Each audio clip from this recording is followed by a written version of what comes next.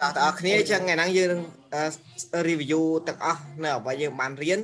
អញ្ចឹងកាលពីសប្តាហ៍ទី1ពេលយើងជួបគ្នាដំបូងយើងបានស៊ូគ្នាតង់ស្អីទៅ grammar មែនទេអញ្ចឹងហើយទៅតង់ grammar ហើយយើងក៏បានជិញយោបល់រៀងៗខ្លួនណាអញ្ចឹង grammar យើងដែរគឺជាការសិក្សាប្រព័ន្ធនឹងច្បាប់ក្បួនខ្នាតផ្សេងផ្សេងនៃការតាក់តែងនៃការរៀបចំប្រយោគនៃការច្បាច់ប្រយោគបញ្ចូលគ្នាណានៃការកំបាញ់ប្រយោគបញ្ចូលគ្នាទៅជាការកំបាញ់ពាក្យច្រើនចូលគ្នា ដើម្បីបង្កើតជាប្រយោគមួយហ្នឹងគឺ grammar ណាហើយបន្តមកទៀតយើងបានអ្វីដែលជំពូកដំបូងដែលយើងបានសិក្សាទាំងអស់គ្នាគឺយើងបានសិក្សាអំពីការប្រើប្រាស់ capital letter ណាការប្រើប្រាស់អក្សរធំ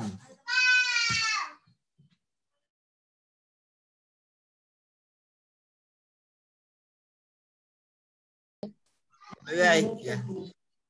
teacher គាត់ review lesson អូខេតោះច្រើនឡើងវិញណាអញ្ចឹងមានន័យថាទៅតយើងចំពុកទី1ទៅទៅនឹងការប្រើប្រាស់ capital letter អញ្ចឹង capital letter យើងដឹងយើងហៅថា big letter ក៏បានហ៎ upper case letter ក៏បានឬអ្នកខ្លះយើងហៅថា capital capital ក៏បានដែរអញ្ចឹងហៅថាអក្សរធំមែនទេនេះសុទ្ធសឹងតែជាអក្សរធំទាំងអស់ហ្នឹងហើយអញ្ចឹងនេះហើយគឺជានិយមន័យរបស់ capital letter ណាអាហ្នឹងជាថ្ងៃដំបូងដែលយើងជួបគ្នាយើងនិយាយជាមួយគ្នាណាអូខេ ហើយចេញមួយទៀតទៅទៅការប្រើប្រាស់អក្សរធំយើងដឹងហើយទី1ទីទូទៅនៅពេលយើងសរសេរផ្ដើមប្រយោគណាពេលយើងសរសេរផ្ដើមប្រយោគយើងទៅតែអក្សរធំណាអញ្ចឹងអក្សរទី1នៅក្នុងប្រយោគណានៅពេលយើងចាប់ផ្ដើមអក្សរទី1នៅក្នុងប្រយោគមួយហ្នឹងទៅតែផ្ដើមនៅអក្សរធំហើយណាហើយទី2ជានឹងឲ្យខ្ញុំប្រើប្រាស់អក្សរធំជាមួយពាក្យអាយអញ្ចឹងពេលថាអាយខ្ញុំហ្នឹងណា ពាក្យអាយមួយម៉ាត់ហ្នឹងទោះនៅទីតាំងណាប្រយោគក៏ដោយត្រូវតែអក្សរធំជានិច្ចណាមិនថាក្តារប្រយោគណាមិនថាដើមប្រយោគវាដាច់ខាតទៅតែអក្សរអក្សរធំលក្ខខណ្ឌទី2នៃការប្រើប្រាស់ capital letter អូខេហើយទី3យើងប្រើ capital letter សម្រាប់អីគេសម្រាប់ឈ្មោះមនុស្សឈ្មោះសត្វឬក៏វត្ថុផ្សេងផ្សេងជាដើមណាអូខេតោះឈ្មោះសត្វឈ្មោះវត្ថុឈ្មោះរបស់របរប្រើប្រាស់អត់ជាឈ្មោះ អាហ្នឹងទៅតែផ្ដាំអក្សរធំដូចឈ្មោះចតឈ្មោះម៉ែវណាឈ្មោះអាលិចណាតែឈ្មោះដាច់ខាតទៅតែផ្ដាំអក្សរធំមួយយើងមិនខ្វល់ថាវាឈរទីតាំងណាប្រយោគទេឲ្យតែជាឈ្មោះទៅតែផ្ដាំអក្សរធំមួយអូខេអាហ្នឹងលក្ខខណ្ឌទី3ហើយលក្ខខណ្ឌទី4ដែលយើងបានរៀនយើងប្រើប្រាស់អក្សរធំជាមួយឈ្មោះគេឈ្មោះទីកន្លែងឈ្មោះប្រាសាទឈ្មោះមន្ទីរពេទ្យឈ្មោះផ្សារអូខេឈ្មោះរមណីយដ្ឋានឃើញទេ ឈ្មោះសន្តាគារហៅឡូដល់គ្នាលើកវិញទៅ Hello ឆា Hello តាតាមិនឆាឆានិយាយដល់ចំណុចទី4ហ្នឹងមែនទេបាទឆាបាទអូខេចឹងចំណុចទី4ហ្នឹងយើងប្រើប្រាស់អក្សរធំនៅពេលសម្រាប់ឈ្មោះទីកន្លែងមិនថាឈ្មោះខេត្តឈ្មោះក្រុងឈ្មោះឃុំឈ្មោះភូមិណាឈ្មោះផ្សារទំនើបឈ្មោះផ្សារអត់ទំនើបឈ្មោះវត្តណាអត់ជាឈ្មោះទីកន្លែងណា ចឹងយើងប្រើអក្សរធំណាឈ្មោះសកលវិទ្យាល័យឈ្មោះសាលារៀនមន្ទីរពេទ្យផ្សេងផ្សេងគឺប្រើអក្សរធំណាអូខេហើយមួយទៀតយើងប្រើប្រាស់អក្សរធំសម្រាប់ holiday ណា holiday day of the week ថ្ងៃក្នុងមួយសប្តាហ៍ខែក្នុងមួយឆ្នាំឬក៏ពិធីបុណ្យផ្សេងផ្សេងយើងប្រើអក្សរធំមែនទេតើគ្នាឃើញមានតំណែងតំណងជាមួយនឹងរីទៅតងណៅនេះនេះតងណៅនេះនេះហៅស្អីគេតាក់តងចាតាក់តងខ្មែរ New Year ហ្នឹងតាក់តងស្អីគេតើគេបើយើងរៀនតងនាមហ្នឹងតាក់តង noun fresh noun fresh ទៅណារក្សាទៅពេលល្ងាចណាអូអូមកខ្ញុំច្រឡំច្រឡំរីទៅតងណៅនរីតងណៅនហ្នឹងគេហៅស្អីគេបងប្អូនហៅស្អីណៅនយើងហ៎អើយ proper noun ចាអេ proper noun proper noun ទាំង proper noun យើងប្រើអក្សរធំដែរណាអញ្ចឹងជាមួយ proper noun យើងប្រើអក្សរធំហើយណា ចឹងវាតកតណងគ្នាកញ្ញាតតតកតណងគ្នាជាមួយ noun នឹងត្រូវការប្រើអក្សរធំវាមានតកលាគ្នាអញ្ចឹងណាអូខេអញ្ចឹងឈ្មោះពិធីបនឈ្មោះអាចារ្យគាពុទ្ធពហសសៅខែមករាកុម្ភៈមីនាមេសាឧសភាអញ្ចឹងទាំង12ខែហ្នឹងហើយទាំងថ្ងៃ7ថ្ងៃពិធីបនមួយចំនួនទូទៅយើងប្រើអក្សរធំណាប្រើអក្សរតូចឯងនេះចេះ highlight ឲ្យហ្នឹងហើយបាទអញ្ចឹងប្រើអក្សរធំណាអូខេ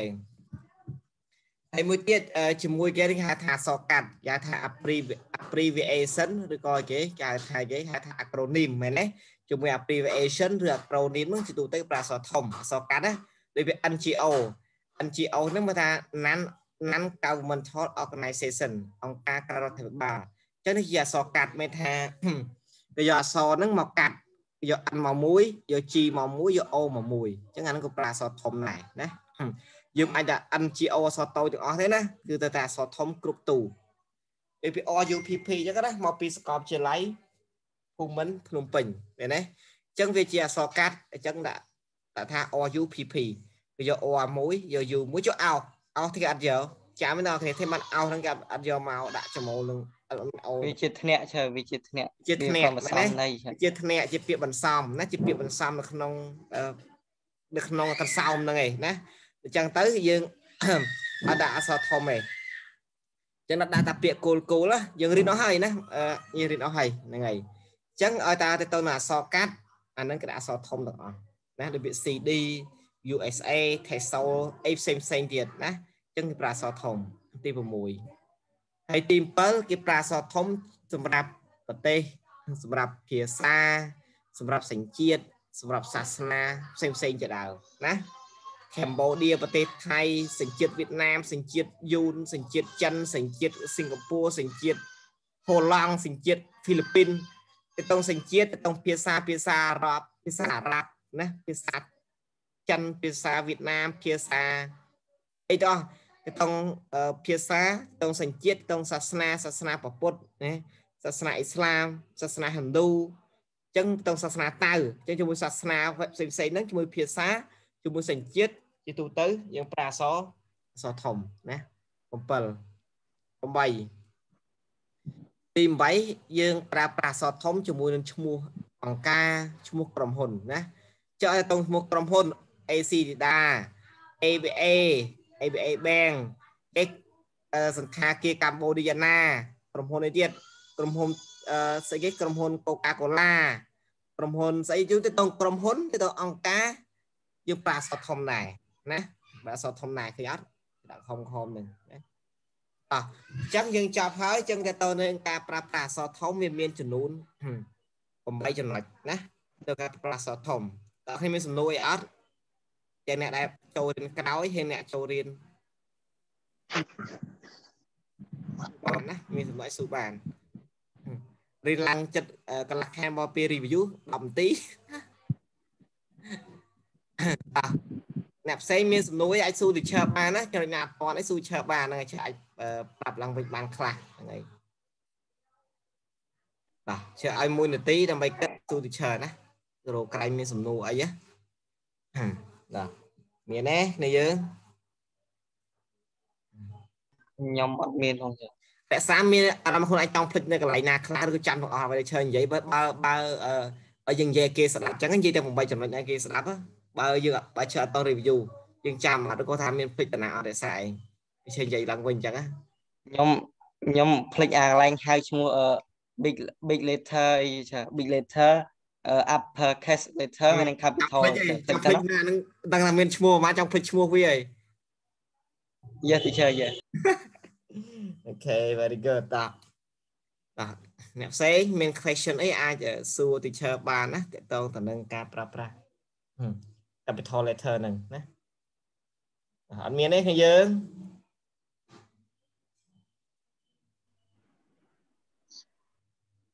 អត់មានទេណោះអត់មានទេអញ្ចឹងបើអត់មានទេយើងទៅមួយទៀតណាអូខេនឹងសប្តាហ៍ទី1អីដល់ពេលចូលមកទៀតយើងតកតងនឹងទី2 លឺលឺចាលឺលឺវិញហើយអញ្ចឹងដល់ពេលចូលសប្តាហ៍ទី2យើងបានសិក្សាអំពី noun នាមណាអញ្ចឹងយើងសប្មេចំពុកយើងមកដល់ចំពុកទី2នេះយើងបានសិក្សាតាអ្វីទៅជានាមណាជានាមយើងថានាមហើយយើងក៏បានសួរគ្នាថានាមជាអ្វីណាជានាមជាអ្វីណាគ្នាយើងក៏បានចេញយោបល់នាមមានប្រមាណប្រភេទព្រោះយើងបានចេញយោបល់ដែរអាហ្នឹងគឺជាយើងដើមចំពុកទី2ហើយមកទៀតក៏យើងបានសិក្សាអំពី និយមន័យរបស់នាមអាស្អីជា noun ស្អីជានាមណាចឹងនាមគឺជាពាក្យមួយដែលសំដៅទៅលើទីកន្លែងវត្ថុមនុស្សសត្វរុក្ខជាតិព្រឹត្តិការណ៍សារធាតុអីផ្សេងផ្សេងជាដើមណាអានឹងហៅថានាមណា okay និយមន័យហើយក្រៅមកទៀតក៏យើងបានឲ្យឧទាហរណ៍ទៅតងនាមណានេះជាឧទាហរណ៍មួយចំនួនដែលតទៅនឹងនាមដែលយើងបានរៀនហើយណា okay ឧទាហរណ៍អីអីក្នុងចំណោមនេះគឺជាគ្នាយើងក៏បានឧទាហរណ៍ខ្លះដែរណា okay នាមហើយមកទៀតមកទៀតគឺឈើបានឲ្យអត្ថបទមួយហើយជឿឲ្យអ្នកទាំងអស់គ្នាព្យាមរនាមនៅក្នុងអត្ថបទហ្នឹងណាយើងបានព្យាមរទាំងអស់គ្នាណាហើយអឺកន្លែងមកទៀតគឺយើងបានសិក្សាអំពីប្រភេទនាមប្រភេទនាមអូខេយើងតោះគ្នានាមបានតាម អពិតនាមមានច្រើនប្រភេទដែរប៉ុន្តែក្នុងអ្វីដែលជឿឲ្យហ្នឹងជាឲ្យប្រហែលប្រភេទទាំងអស់គ្នា there are two ចា two right there are two two two មែនទេគេអញ្ចឹងមាន2ណាអញ្ចឹងនាមត្រូវបានគេបែងចែកជាពីរពពួកពីរផ្នែកសំខាន់សំខាន់គេថា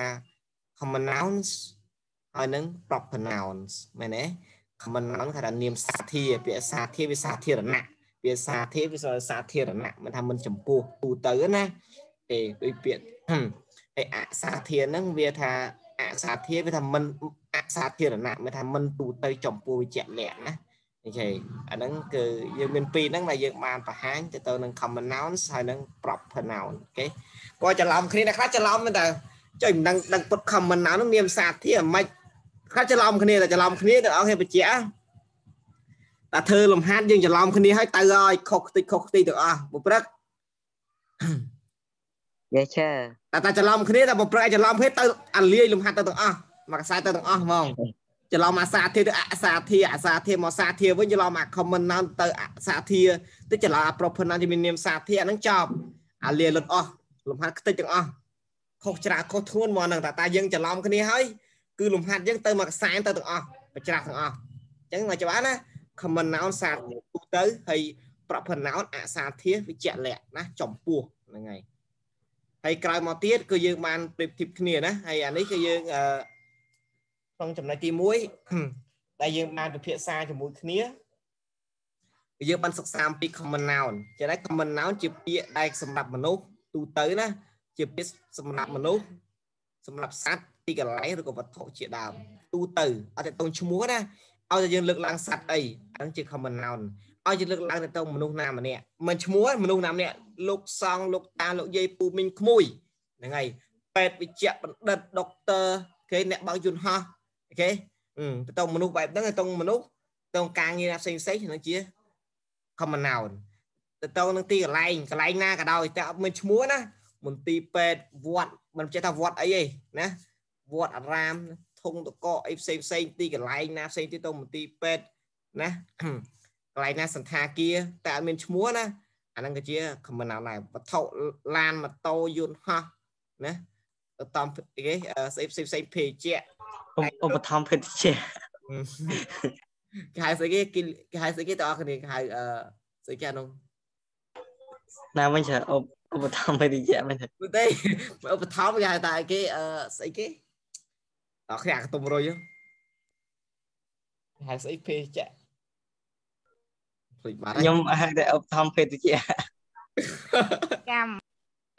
ស្អីគេថាដឹងជួយថាម៉ាត់មើលខែគេហ្នឹងឧបត្ថម្ភភេទជ្ជៈហ្នឹងហើយឯងចេះឧប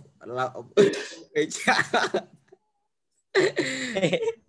តាអញ្ចឹងហើយតមកទៀតយើងបានសិក្សាអំពីលើក common noun ទៅមនុស្សឃើញទេនេះជា common noun ទៅមនុស្ស common noun ទៅនឹងសត្វអូខេទៅទៅសត្វអីក៏ដោយនេះមនុស្សវាបានលើក common noun ទៅតងទៅនឹងទីកន្លែងណាតោះសន្តាគារស្តាតសារមន្ទីរអីផ្សេងផ្សេងហ្នឹងសាលប្រជុំអូខេបន្ទប់គេបលៀនចំហផ្សាយហ្នឹងគឺសតែជា common noun ទៅទីកន្លែងហើយក៏យកបានលើក common noun ទៅទៅផ្សេងណាមានក្រែតុកទូកៅអីបិចសិភៅកតាបណាតុក ខ្លែងចដាយចដាអីបំពូលផ្សេងផ្សេងហ្នឹងសតែជា common noun ទៅនឹង sing របស់របរវត្ថុប្រើប្រាស់ណាហើយតាក់តាក់តាក់ចាឈប់តាក់ទៀតហើយហេអញ្ចឹងចាប់ពី common noun មិញណាអញ្ចឹង common noun មិញអឺគឺសម្រាប់លើទូទៅណាទូទៅអត់មានតងឈ្មោះទេណាមនុស្សវត្ថុទីកន្លែងអីហ្នឹងវត្ថុហ្នឹង ទូទៅគេថា common noun នេះហើយមកសប្តាហ៍បន្ទាប់ទៀតសប្តាហ៍ទី3យើងក៏បានសិក្សាទៅនឹង proper noun ដែលជាភាសាខ្មែរយើងហៅថានាមនាមអសាធារណាពាក្យអអសាធារនិងអសាធារណៈវាជាក់លាក់ណាវាជាក់លាក់តោះនេះទាំងអស់គ្នាហើយប្រពន្ធណោនដូចជាបានឲ្យនិយមន័យហើយណាអញ្ចឹងទាំងប្រពន្ធណោនគឺជាឈ្មោះទីកន្លែងឈ្មោះសត្វឈ្មោះវត្ថុ អីផ្សេងផ្សេងដែលមានលក្ខណៈជាក់លាក់ណាជាក់លាក់ហើយយូរទៅជាមួយប្រពន្ធណោនទៅតែអក្សរធំហ្នឹងណាទៅអក្សរធំតែ capital letter តើគ្នាតើតអាណាមេរៀនរៀនមិញណាអញ្ចឹងទៅឲ្យទៅនឹងប្រពន្ធណោនទៅនាមអក្សរធាជាទូទៅគេប្រើ capital letter ប្រើអក្សរធំណាប្រើ capital letter ហ្នឹងហៅថាប្រពន្ធណោនហ្នឹងហើយហើយអឺបើយើងឈ្មោះសុវិស័យណាឈ្មោះឆ្កែឈ្មោះរកទី ឈ្មោះទីកន្លែងឈ្មោះប្រាសាទទាំងទៅណាឈ្មោះកង្ហាលអីវត្ថុផ្សេងផ្សេងអាហ្នឹងគឺជាប្រពន្ធណោនអក្សរធាវិទ្យាទៅឈ្មោះណាទៅឈ្មោះហ្នឹងហើយហើយចេញពីហ្នឹងមកយើងក៏បានឲ្យឧទាហរណ៍ទៅទៅប្រពន្ធណោននេះគឺជាប្រពន្ធណោនទៅទៅឈ្មោះមនុស្សណាចឹងឲ្យឈ្មោះមនុស្សទាំងអស់មិនថាជាតារាប្រធានាធិបតីនាយករដ្ឋមន្ត្រីរាជសាមញ្ញធម្មតាឧត្តមមន្ត្រីឲ្យទៅឈ្មោះមិនថាឋានៈគាត់ជាអីក៏ដោយឲ្យ ទៅឈ្មោះមនុស្សហ្នឹងគឺជានាមអសាធាជាប្រពន្ធណោនេះណាហើយចេញពីនឹងទៀតអឺតកតងទៅនឹងឈ្មោះប្រទេសឈ្មោះប្រជាជនក្នុងប្រទេសនោះណាគឺជាប្រពន្ធណោដែរគឺថា Japan Japan នេះ Japan ប្រទេសជប៉ុន Japan នេះជនជាតិជប៉ុន Cambodia ប្រទេសកម្ពុជា Cambodian សញ្ជាតិកម្ពុជាឬក៏ប្រជាជនកម្ពុជាអញ្ចឹងទាំងអស់ហ្នឹងសុទ្ធតែជាប្រពន្ធណោទាំងអស់ អញ្ចឹងអ្នកទាំងអស់ឲ្យចាំថាទៅតឈ្មោះប្រទេសឈ្មោះប្រជាជននៃប្រទេសនោះគឺជាប្រពន្ធណោណាហើយអានេះចៅឧទាហរណ៍បន្ថែមទៅលើអាមាញ់ណាអានេះគឺជាប្រទេសនេះគឺជាប្រជាជននៃប្រទេសទាំងនោះគឺអូរ៉ាពីឥណ្ឌាឥណ្ឌាប្រទេសឥណ្ឌាឃើញទេពី Indians ប្រជាជនប្រទេសនៃប្រជាជនឥណ្ឌាណាអញ្ចឹងទាំងអស់នឹងសតែជា ប្រពន្ធណោនដោយសារវាជាប្រទេស និងប្រជាជននៃប្រទេសនោះហ្នឹងហើយហើយចេញពីនឹងមកទៀតទៅឈ្មោះក្រុងឈ្មោះទីក្រុងឈ្មោះអាគារឈ្មោះ landmark landmark គឺជាគេជាសញ្ញានៃវាចតំណាងឲ្យខេត្តមួយតំណាងទីកន្លែងមួយឬក៏តំណាងឲ្យប្រទេសមួយ landmark គឺថាអង្គរវត្តជា landmark នៃប្រទេសកម្ពុជាតំណាងឲ្យប្រទេសកម្ពុជាឃើញទេព្រៃវែងមាន landmark អីទៅណានៅខេត្តបាត់ដំបង គេតំណាងឲ្យលោកតាដំបងកញូជា landmark នៃខេត្តបាត់ដំបងណាអញ្ចឹងទៅឈ្មោះទីក្រុងក្រុងព្រៃវែងក្រុងបវត្តណាក្រុងសៀមរាបតែគឺជា common noun ប្រពន្ធ noun ឈ្មោះទីក្រុង ទីក្រុងបាងកកទីក្រុងហូជីមិញទីក្រុងភ្នំពេញណាទីក្រុងតូក្យូឃើញទេទីក្រុងឈៀងម៉ៃណាទីក្រុងឈៀងរ៉ៃអញ្ចឹងទៅក្នុងទីក្រុងហ្នឹងគឺជាប្រពន្ធណោដែរឈ្មោះអាគារអាគារវឌ្ឍនៈឃើញទេ អាគារយល់ឈ្មោះអាគារណាអាគារផ្សេងផ្សេងគឺជាប្រពន្ធណោហើយឈ្មោះ landmark ផ្សេងផ្សេងទៀតណាចាតើអានេះគឺជាឧទាហរណ៍ទៅនឹងប្រពន្ធណោហើយអានេះគឺជាឧទាអានេះជាឧទាហរណ៍បន្ថែមទៅអាគារណានេះជា sorry ម៉ាកេគឺជាទីក្រុងទីក្រុងបាងកកទីក្រុង London ទីក្រុង New York ទីក្រុងប៉ារីសប៉ៃជីងអ៊ីស្តាំប៊ូហូជីមិញតូក្យូសាន់ហ្វ្រាន់ស៊ីស្កូទាំងអស់ហ្នឹងគឺជាប្រពន្ធដោយសារវាជាឈ្មោះទីក្រុងណាហើយមកទៀតទៅឈ្មោះអាគារណា Sydney Opera House Colosseum ណា Burj Khalifa អូខេហើយទៅទៅ Empire State Building គេតាចាំមកហោលណា Buckingham Palace ហ្នឹងហើយឈ្មោះ White House ទៅទៅអស់ហ្នឹងជាឈ្មោះអាគារតែជាឈ្មោះអាគារបែបហ្នឹងណាជាឈ្មោះអាគារបែបហ្នឹងហើយឈ្មោះអាគារនៅពេញឈ្មោះអាគារច្រើនណាស់តែខ្ញុំទៅស្គាល់ដែរណាពីអាគារខ្ពស់ខ្ពស់នៅពេញហ្នឹងទៅពេញឃើញតែតែមានឈ្មោះរបស់គេតែមានឈ្មោះរបស់គេណា គេចាំណាគេ42ជាន់តែមិនដឹងឈ្មោះអីទេគេដាក់ឈ្មោះគេតែអត់ចាំគេថា42ជាន់42ជាន់ណាតែគាត់ថាឈ្មោះអាគារគឺជាប្រាប់ pronoun ដែរណាហើយមកទៀតទៅឈ្មោះគេ landmark landmark ជានិមិត្តសញ្ញាសម្គាល់ជារូបសម្គាល់ជាកន្លែងសម្គាល់តំបន់ភូមិសាស្ត្រណាមួយណាអរគ្នាលឺអត់នៅឡូ ត្រង់ចំណុចនេះគឺយើងបាននិយាយអំពីទៅ landmark ណាអញ្ចឹងរូបតំណាងអញ្ចឹង landmark នៃប្រទេសណាមួយដល់ប្រទេស Great Wall of China គឺជញ្ជាំងបែកឡាំងអង្គរវត្តជា landmark នៃប្រទេសកម្ពុជា Sputnik ណា Sputnik នៃអេស៊ីបគេ Statue of Liberty តំណាងឲ្យ New York ហើយនៅក្នុងសហរដ្ឋអាមេរិកគេជា landmark តំណាងប្រទេសមួយតំណាងទីកន្លែងមួយតំណាងក្រុងមួយឲ្យជារូបតំណាងណាជាអ្វីពេលខ្លះអ្វីតំណាងអាចជារូបសម្លាក់ អាចជាទីកន្លែងអាចជាប្រាសាទអាចជាផ្លូវណាណាឲ្យតែជា landmark តំណាងឲ្យតំបន់ប្រទេសឬក៏តំបន់ណាមួយអាហ្នឹងគឺជាប្រពណោដែរហ្នឹងហើយដូចជាដូចជាតែពីរ៉ាមីតចឹងណាពីរ៉ាមីតគឺជា landmark របស់ប្រទេសអេស៊ីបហ្នឹងហើយហើយចេញមកទៀតគឺយើងបានសិក្សាអំពី day of the week ហើយនឹង month of the years អញ្ចឹង7ថ្ងៃក្នុងមួយសប្តាហ៍ហ្នឹងណា7ថ្ងៃក្នុងមួយសប្តាហ៍ហ្នឹង ថ្ងៃច័ន្ទដល់ថ្ងៃអាទិត្យអាទិត្យក៏អាទិត្យដល់ច័ន្ទហ្នឹងគឺជាប្រពណោតប្រពណោតដែរហើយខែទាំង12មករាកុម្ភៈដល់ខែធ្នូហ្នឹងគឺជាប្រពណោតដែរណាគឺជាប្រពណោតដែរហ្នឹងហើយហើយនេះបានយើងបានសិក្សាឧទាហរណ៍នេះគឺតកតងទៅនឹង man of the year ហើយនឹង day of the week ហ្នឹងហើយហើយមកទៀតតកតងនឹងឈ្មោះភ្នំឈ្មោះសមុទ្រឈ្មោះមហាសមុទ្រណាឈ្មោះបឹង ឈ្មោះបួឈ្មោះទន្លេផ្សេងផ្សេងគឺជាប្រពណោដែរភ្នំអូរ៉ាល់ណា Pacific ស្មាត់មហាសមុទ្រ Pacific ទន្លេមេគង្គញ៉េបឹងយៈឡោមសមុទ្រចិនខាងត្បូងទៅឈ្មោះបឹងបួទន្លេសមុទ្រមហាសមុទ្រហ្នឹងគឺជាប្រពណោដែរហ្នឹងហើយនេះជាឧទាហរណ៍ទៅតងនឹងឈ្មោះទីកន្លែងទៅតងភ្នំបឹងបួណាអូខេសមុទ្រអាតិចសមុទ្រ សមុទ្រខាប៊ីការ៉ាបៀនអូខេទន្លេនីលណាផ្សេងផ្សេងហ្នឹងភ្នំហេម៉ាឡៃណាបឹងបៃកាទាំងអស់ហ្នឹងគឺជាប្រពណោនហើយអឺមួយទៀតទៅតងប្រពណោនដែរគឺទៅតងឈ្មោះពិធីបុណ្យណាអឺឈ្មោះថ្ងៃចុះសម្រាប់អីផ្សេងផ្សេងណាគឺជានាមអក្សរធាតុដែរឬហៅថាប្រពណោនហ្នឹងបងទីស្មាក់បន Father Day ណាបន Halloween ណាបនខ្មែរ New Year បនជុំបិណ្ឌ អីបនចូលឆ្នាំសកលអីផ្សេងផ្សេងហ្នឹងគឺជាប្រពណោនដែរអញ្ចឹងឲ្យថាឈ្មោះពិធីបនមិនថាបននៅខ្មែរបននៅប្រទេសគេបនជាតិសាសនាក៏ដោយឲ្យតងពិធីបនគឺតង holiday ថ្ងៃជុំសម្រាប់គឺតង holiday ហ្នឹងណាតងថ្ងៃជុំសម្រាប់យើងមើលយើងបើកប្រតិទិនឃើញហើយណាមាន holiday ច្រើនណាប្រតិទិនខ្មែរទាំងអស់ហ្នឹងសុទ្ធតែជាប្រពណោទាំងអស់ណាអូខេទៅទៀតអានេះជាឧទាហរណ៍បន្ថែមទាក់ទងនឹង festival ហើយទាក់ទងនឹង holiday ណាមាន Valentine's Day បនវិសាខបូជាបនបនឯករាជ្យអូខេ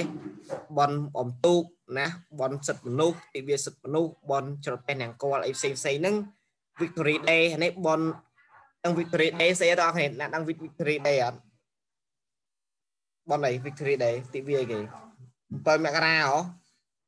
ទិវាជ័យជំនះចឹងជើកុំបាទគេហៅគេទិវាជ័យជំនះមែនទេទិវាជ័យជំនះលើប្រឡាយពូជសាស ហ្នឹងហើយ Victory Day ហ្នឹងណា Victory Day គឺជាគេគឺទិវាជ័យជំនះលើរបបប្រឡាយពូជសាសហ្នឹងហើយថ្ងៃថ្ងៃទី7មករាណា Victory Day អញ្ចឹងទៅទៅនឹងព្រឹត្តិការណ៍ទៅទៅនឹងប៉ុនអីទៅទៅថ្ងៃចុះសម្រាប់បែបហ្នឹងគឺជាប្រកណោដែរយ៉ាអស់ហើយសប្តាហ៍ហ្នឹងហើយយើងទៅសប្តាហ៍ចុងក្រោយទៀត